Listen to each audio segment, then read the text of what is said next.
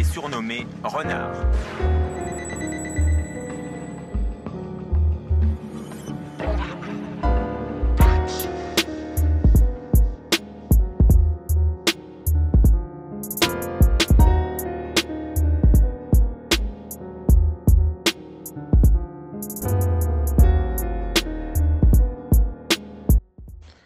Ouais, salut Marcus.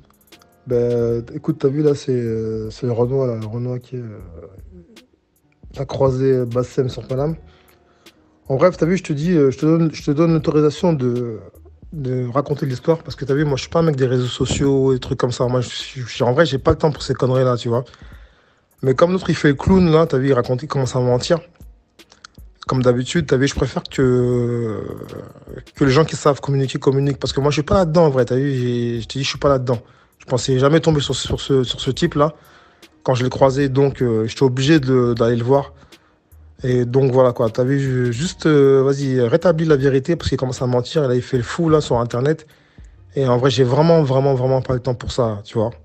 Donc vas-y, je te donne l'autorisation de t'occuper de la communication, entre guillemets, de cette histoire parce que moi j'ai vraiment, vraiment pas le temps pour ce type-là. Là. Il, commence, euh, commence à faire le dingo là, encore une fois là. Bon, voilà, vas-y, bref, mon gars, à plus tard.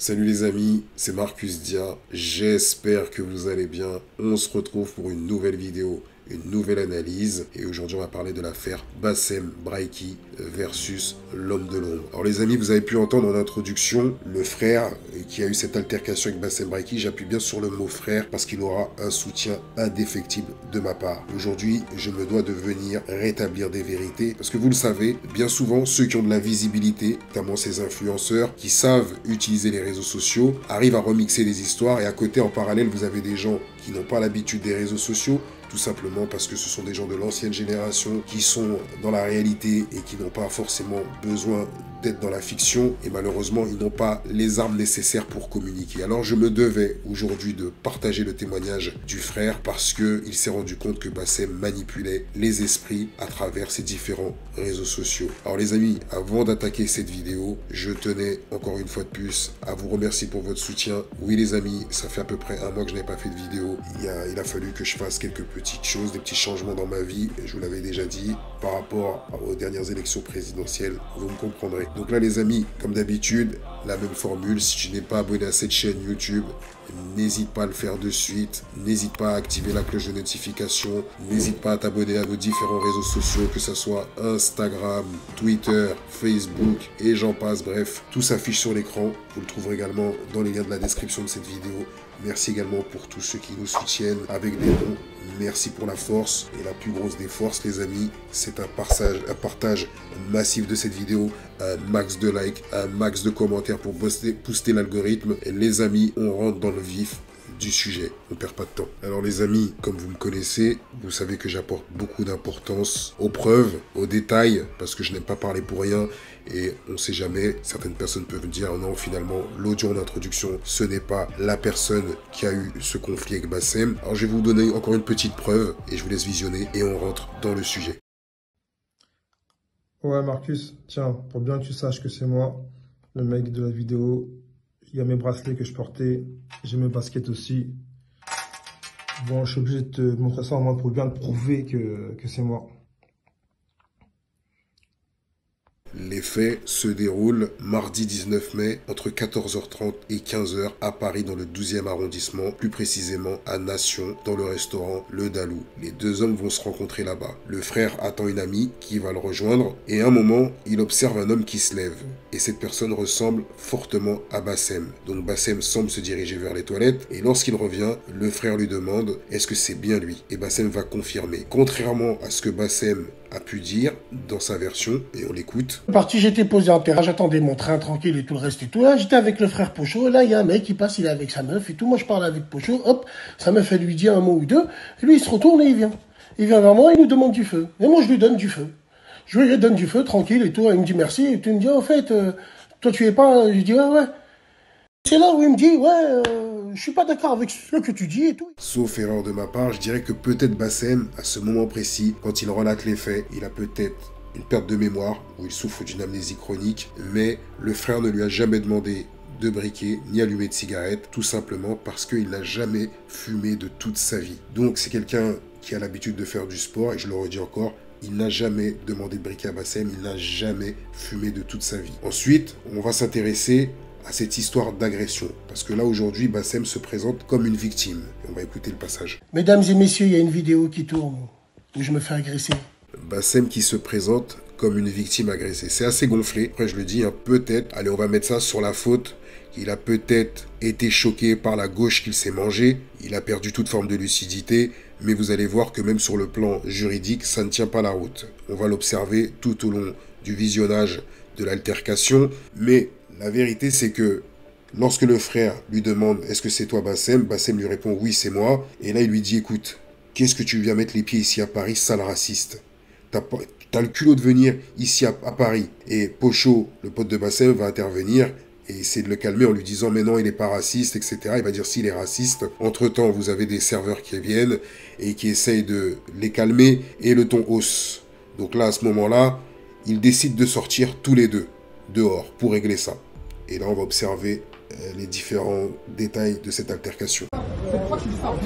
Donc là, on observe dans ce passage qu'il y a cet homme qui tient Bassem, et tout simplement parce que cet homme a assisté à l'échange qu'il y a eu entre les deux hommes dans, dans le restaurant, et il se dit ça peut que finir en bagarre puisque les deux ont décidé de sortir, donc il essaye de maîtriser Bassem. Alors il faut savoir qu'à ce moment précis, on peut voir que Bassem est déjà dans l'intox, parce que observez bien, euh, cet homme est petit de taille, Bassem fait à peu près plus d'un mètre 90, donc à peu près 100 kilos. Je pense qu'il pèse un peu plus de 100 kilos.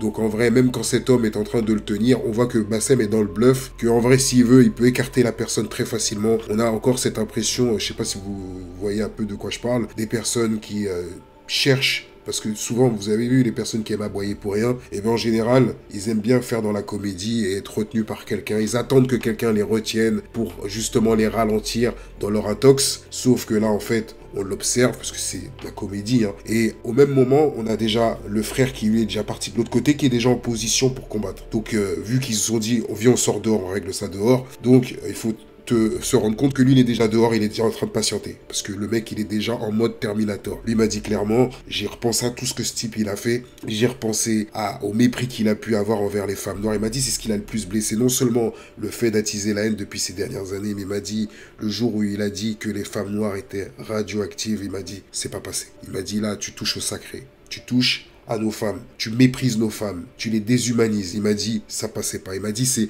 le truc pour, pour lui, selon lui, qui lui a fait le plus mal, c'est quand Bassem s'est attaqué à la femme noire. Et donc, donc là, on regarde un peu cette mise en scène. Hein, ça intéressant de visionner ce passage où on voit que Bassem fait semblant d'être retenu. En vrai, quand tu es sous tension et que tu es vraiment en colère, tu peux écarter la personne, surtout quand quelqu'un est petit. À ce gabarit, c'est très facile de le mettre sur le côté et de lui dire, vas-y, bouge de là. bébé.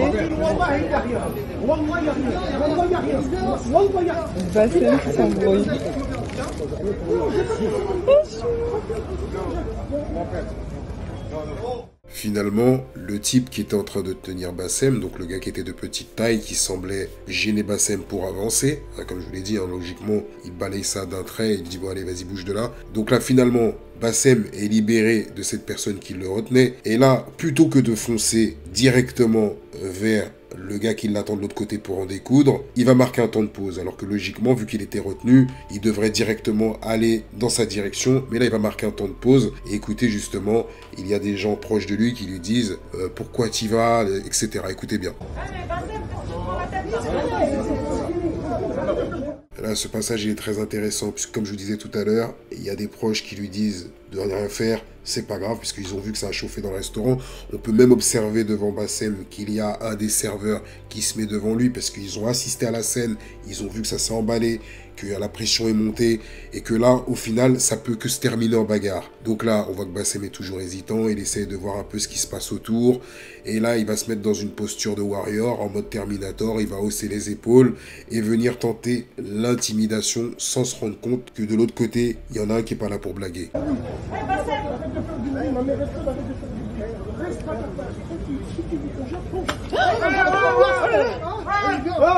Donc là, j'ai censuré délibérément le passage pour qu'on puisse visionner cette vidéo sans limitation d'âge, que cette vidéo soit accessible au plus grand nombre. Et là, on observe malheureusement quand Bassem arrive, il joue les shows. Vous avez pu entendre, déjà au préalable, quand tu dis à quelqu'un va régler ça, dehors, déjà, euh, ne t'attends pas à ce que la personne en face te fasse la bise. Surtout après si t'arrives et tu lui dis baisse le ton, arrête de crier, alors qu'on observe justement qu'à aucun moment le frère qui l'attend dehors, en train de patienter dans le plus grand des calmes, parce que lui il est déjà en posture pour en découdre. Donc si vous observez bien, écoutez bien, puisque Bassem dit arrête de crier, arrête de gueuler, tout ça, on n'entend pas.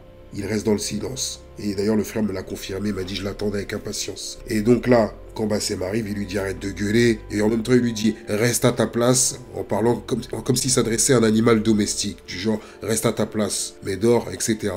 Et en même temps, il lui dit si tu veux qu'on gère ça, et d'un seul coup, bam, la gauche est pas. Gauche magistrale. Je vais vous expliquer pourquoi elle est magistrale.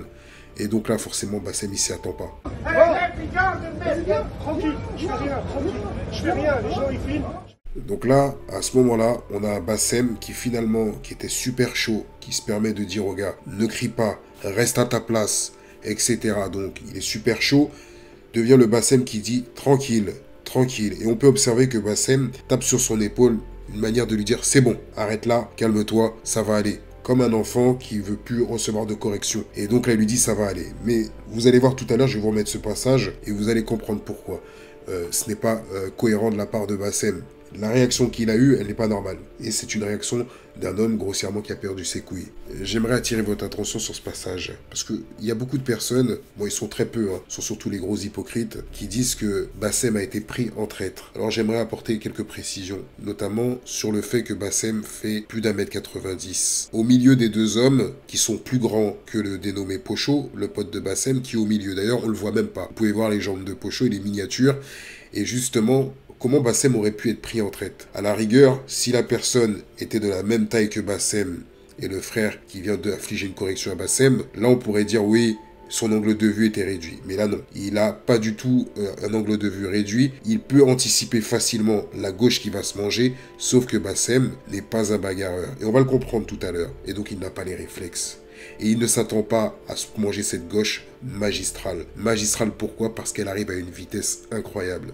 Et c'est là où tu vois que le mec en face de lui est un technicien. Et Bassem en a conscience. Croyez-moi, quand vous tombez contre quelqu'un dans la rue et qu'il vous frappe de cette manière, vous savez que vous n'avez pas affaire à quelqu'un de lambda. Vous avez affaire à quelqu'un d'expérimenté. Et Bassem l'a compris. Et c'est pour ça qu'il a commencé à se faire sur lui. Elle est là la vérité. Et donc, tous ces hypocrites, qui vont dire que Bassem a été pris en traite parce que lui-même a utilisé ce vieil argument pour faire croire que, en vérité, il a été victime d'une injustice. On peut observer également l'aplomb. On observe l'aplomb du frère quand il se dirige vers Bassem. Il arrive avec, il est en mode déterminé. Il est en mode warrior. C'est-à-dire que il arrive sans mettre sa garde. Regardez avec quelle vivacité il arrive. Il vient en face de Bassem, il lui dit viens, viens à plusieurs reprises. Donc tu sens que le gars en face, il veut en découdre.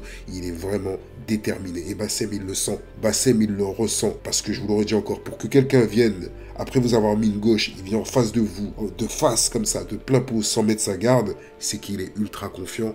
Mais non seulement il est ultra confiant, mais c'est qu'il a ressenti la peur dans les yeux de Bassem. Tranquille, je fais rien, tranquille. Je fais rien, les gens ils filment, je fais rien. Aucun problème. Ça va, les mecs Hein, tu sais pas Bouchez, bouchez, non Ouais, ça va Ça va Viens, on se casse, viens, on se casse, viens, on se casse. Tu tu tu pars, tu pars. Tu pars, tu tranquille, les gens, toi, tranquille. Tranquille. Arrête, arrête, arrête, tranquille. Vas-y, viens.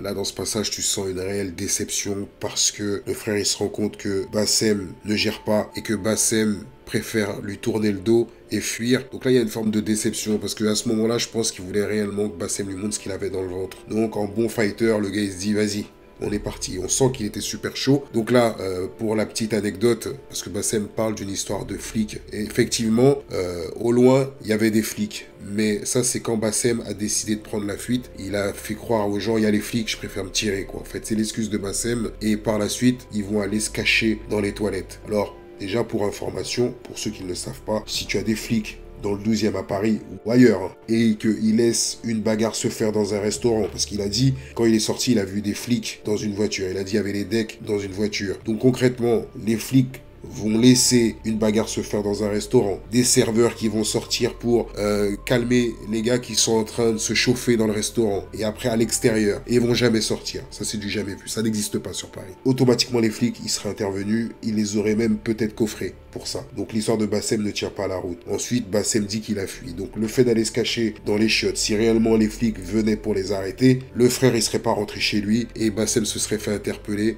dans les chiottes restaurant. C'est pour ça que je vous dis que ça, son histoire de flic, c'est du pipeau. Personne ne peut le croire. Toute personne qui connaît Paris sait très bien que si vous avez des flics sur place, à proximité des faits, vous allez vous faire arrêter sur le champ. Donc là, on arrête ce cinéma de flics.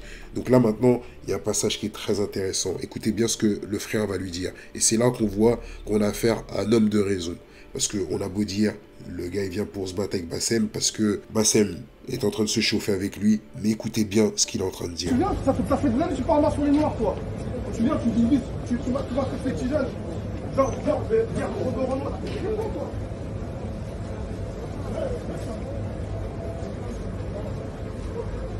Il lui dit, ça fait des années que tu parles mal sur les Noirs, que tu attises la haine, que tu crées la guerre entre les Noirs et les Maghrébins, que tu matrixes des petits jeunes. Et tout ce qu'il est en train de faire, c'est juste un résumé de tout ce que j'ai déjà dénoncé à travers plusieurs vidéos concernant ce personnage de Bassem. Un type qui, pour moi, comme je le surnomme, l'idiot utile, entretient une division entre la communauté noire et la communauté maghrébine des quartiers populaires.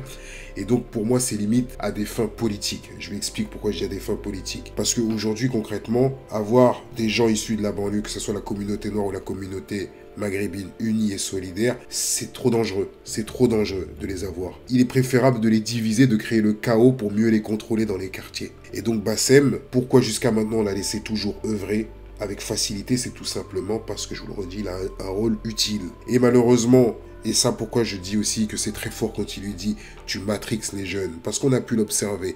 À chaque fois que Bassem joue le révolutionnaire, il vise qui en général Du moins, qui sont les personnes qui l'écoutent Ce sont des jeunes gamins. On a pu l'assister, on a pu le voir à différentes reprises lorsqu'il mobilise des jeunes pour essayer d'interdire des concerts. On n'a que des gamins. On n'a que des gamins. Ce sont des gamins malheureusement naïfs qui sont rentrés dans son jeu. Et vous avez également, comme je l'ai déjà dit à plusieurs reprises, une partie de sa communauté qui est négrophobe et qui justement se nourrit de ses discours parce qu'il aime bien utiliser les termes black swag, etc., créer une forme de division, mettre en opposition des noirs musulmans et des noirs non musulmans, en traitant les frères qui ne sont pas musulmans de black swag ou de sac à main, une manière justement stratégique de faire comprendre qu'il n'en a pas contre tous les qu'il n'a rien contre tous les noirs, mais une catégorie de noirs. Et ça, c'est très très fort parce que ça crée de la division et tu as des noirs justement qui tombent dans son piège. Alors maintenant, aux dernières nouvelles, notre cher Bassem, 48 heures après,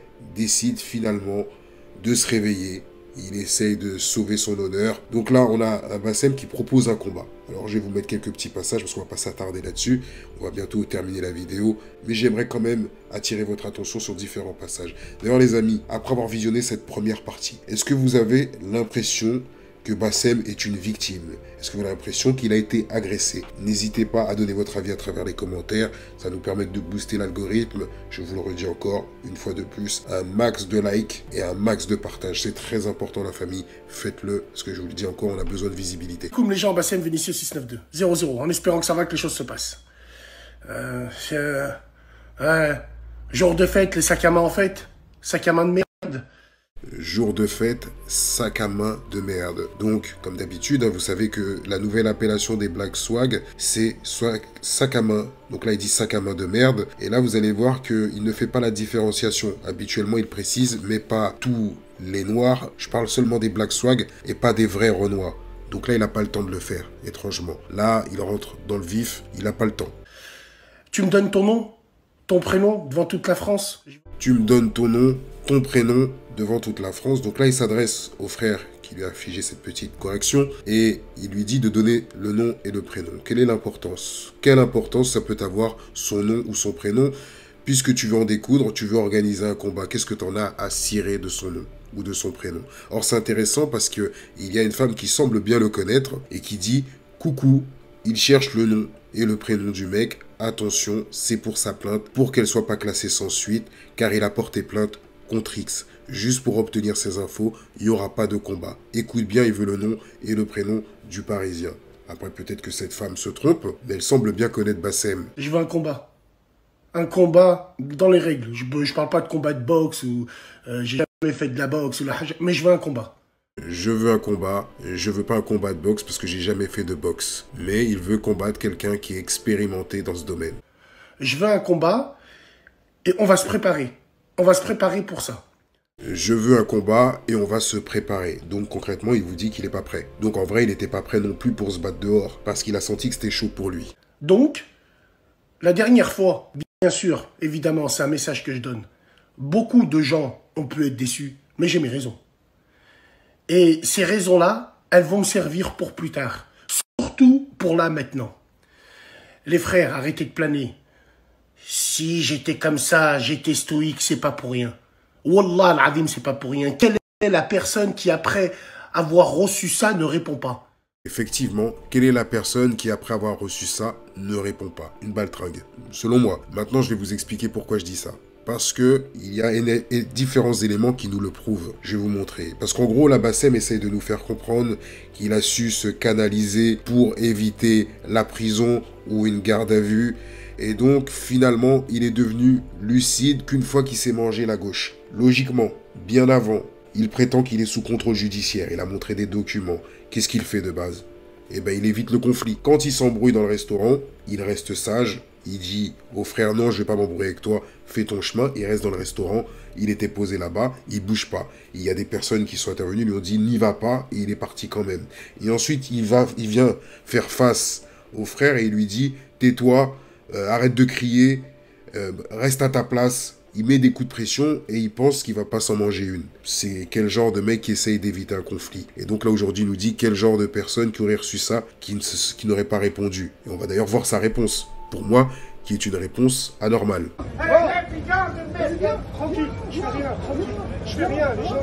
Donc, tu te manges une gauche, ta casquette vole, tes lunettes volent, ça se trouve même tes lunettes sont explosées, donc tu as investi dans ces lunettes. À un moment, on entend à plusieurs reprises sa compagne, puisque apparemment il y a sa femme qui est avec lui. On entend qu'elle dit Bassem, bébé, Bassem, bébé.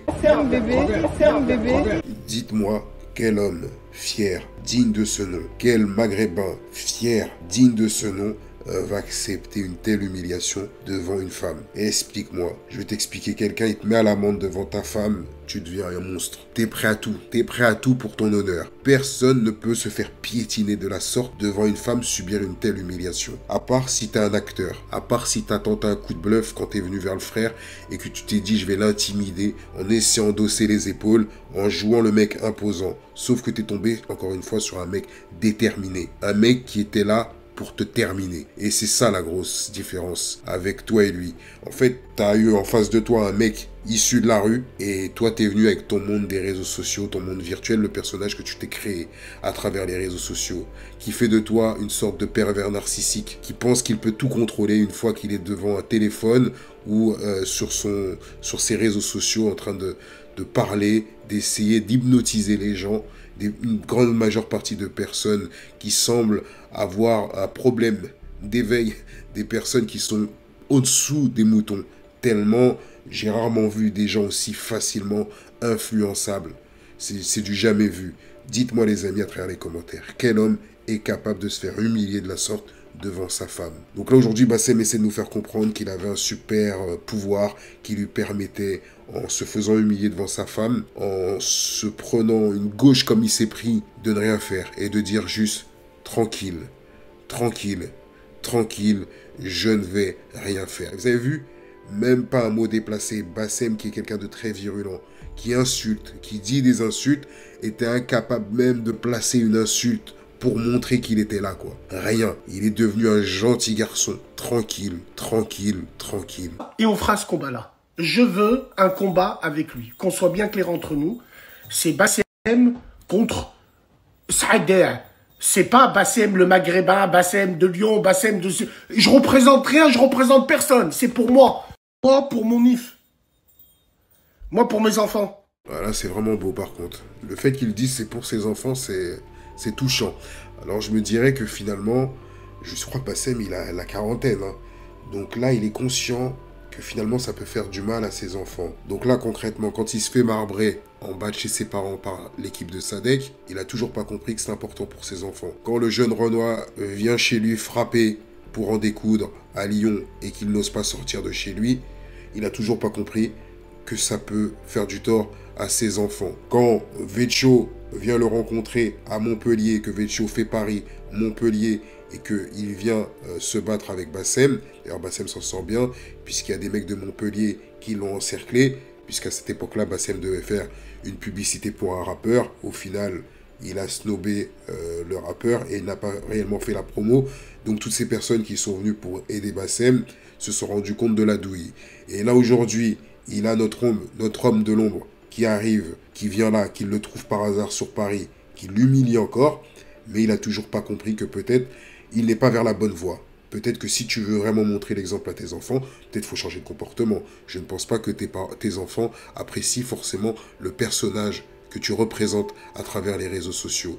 J'ai observé le nombre de commentaires sur Twitter, sur Instagram. J'ai jamais vu quelqu'un autant détester. C'est ça que tu veux laisser comme héritage à tes enfants.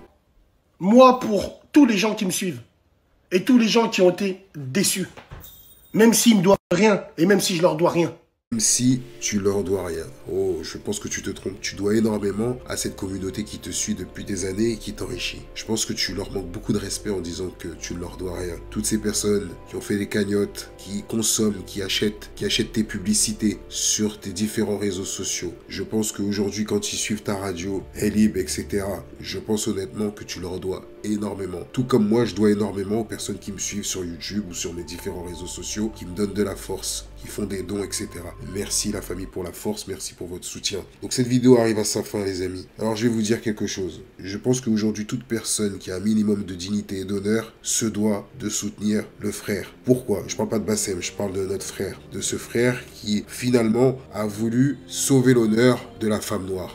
Parce que son principal combat c'est cette injustice les femmes noires. Et il y a une citation marquante de Malcolm X. Il dit L'homme noir n'obtiendra jamais le respect de personne tant qu'il n'apprendra pas à respecter ses propres femmes. Et ça, cette citation, c'est également une façon de faire comprendre qu'il faut défendre les femmes de sa communauté. Là, si part dans un registre communautaire, communautariste, il est nécessaire, puisque Bassem, lui, prêche, soi-disant, un discours pour protéger les femmes maghrébines. On sait en vérité qu'il aime les femmes qu'il dénonce, et notamment les, pseudo-beurrettes qu'il incendie. On a pu le voir, je vous ai montré des preuves je vous ai montré son comportement depuis ces dernières années. Il dit beaucoup de choses, mais il fait tout le contraire. Donc aujourd'hui, je le dis, euh, concrètement, je pense que le point faible de la communauté noire, c'est le fait de ne pas forcément défendre la femme noire. Par exemple, quand quelqu'un comme Bassem te dit que la femme noire est radioactive, c'est déjà très grave. Par exemple, aux États-Unis, ça ne passe, pas ça. Parce que Bassem, un Bassem aux États-Unis qui dit qu'il tient ces propos-là n'existe plus aux États-Unis. Donc bien entendu, euh, je ne suis pas là pour dire que il faut faire la guerre. Je veux dire que les femmes nécessitent un véritable soutien. A une grosse pensée pour ma sœur Binti, qui a également vécu une injustice et qui était entourée de plusieurs personnalités noires qui n'ont pas forcément joué le jeu, qui n'ont pas forcément apporté le soutien nécessaire. Donc là, je reviens encore sur cette histoire. Là, en vrai, sachez-le, aujourd'hui, moi personnellement, je le dis, hein, et c'est triste à dire, en vérité, cet homme de l'ombre, le frère, depuis tout à l'heure, que j'appelle le frère, cet homme est un héros pour moi. Pas parce qu'il est venu en découdre avec Bassem, pas parce qu'il lui a mis une gauche, je parle de son acte. C'est un acte de héros. C'est un acte héroïque. C'est un acte de bravoure. Il représente à lui tout seul la dignité des hommes un homme d'honneur, un homme qui a des principes, un homme qui n'est pas prêt à se vendre, un homme qui représente l'insoumission. Alors je le redis encore, si ce frère a un quelconque problème, j'espère que énormément de personnes vont se mobiliser pour le soutenir. Voilà, donc une grosse pensée, je dirais à ce frère, à mon frère, ne rentre pas dans son jeu, n'accepte pas son vieux délire de combat. De toute façon, on voit très bien qu'il est dans une comédie. Abstiens-toi, ne le calcule pas ne lui donne plus aucun intérêt. Il a perdu. Laisse les moutons qui le suivent continuer leur chemin avec lui. De toute façon, ils tomberont dans le trou avec lui, puisque ce sont des moutons. Ils vont se perdre tôt ou tard. Sur ce les amis, je vous dis à très bientôt pour une prochaine vidéo. Grosse force à vous tous, prenez soin de vous. Encore une fois, je témoigne beaucoup d'amour pour le frère. Paix et bénédiction, force et honneur sur toi mon frère. Ciao la famille, peace.